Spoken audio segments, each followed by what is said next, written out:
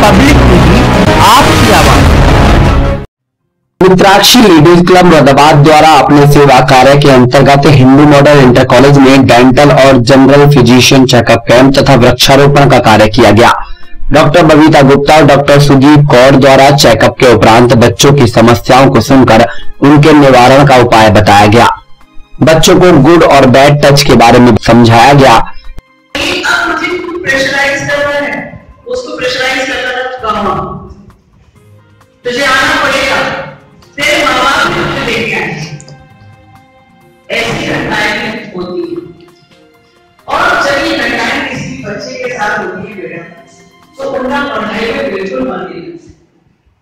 वो उसी सोच में रहती है मैं कैसे बचूं क्या शब्दों का इस्तेमाल करूँ कैसे मैं अपनी पढ़ाई की तरफ़ ध्यान दूँ स्कूल में टीचर ज़्यादा नहीं अध्याय तो तुम्हारे दस में से आठ नंबर आते थे दस में से पाँच क्यों आ रहे तो पहले क्यों गई पढ़ाई में ध्यान नहीं है, रोज क्लास से बात कर किया जा रहा है।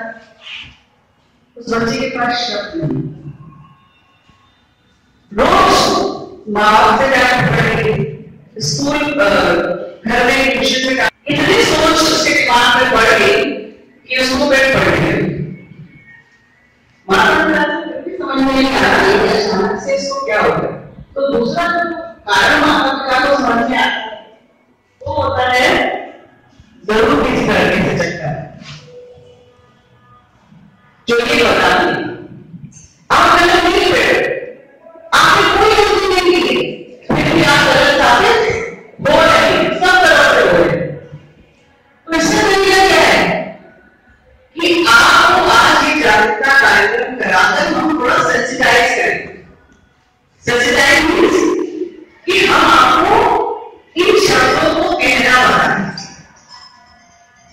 कोटीवाल डेंटल कॉलेज मुरादाबाद से आई टीम द्वारा बच्चों का डेंटल चेकअप किया गया और जिन बच्चों में समस्याएँ पाई गई, उनको कार्ड उपलब्ध कराया गया, जिससे कि वे डेंटल कॉलेज में आकर अपना निशुल्क इलाज करा सके।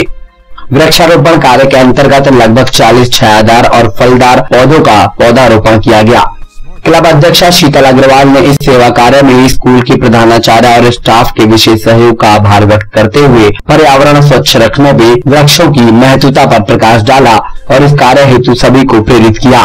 सेवा कार्य में क्लब अध्यक्षा शीतल अग्रवाल, क्लब सचिव रचना गुप्ता और क्लब कोषाध्यक्ष रश्मि अग्रवाल के साथ और भी सदस्य मौजूद रहे। आज हमारी मित्राक्षी लेडीज़ क्लब से हमने हिंदू मॉडल स्कूल में एक तो दांतों के चेकअप के लिए डेंटल चेकअप कैंप लगाया है।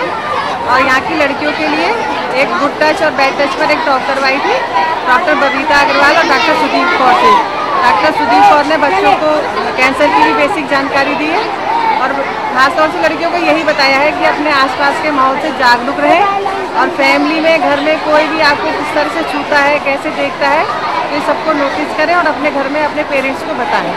और इसी के साथ हमने यहाँ पर प्लांटेशन भी करा है। कुछ यहाँ पर हमने पेड़ लगाए हैं, जिससे कि इस समय सीज़न भी है और मौसम भी है। हरा हरा भरा रहे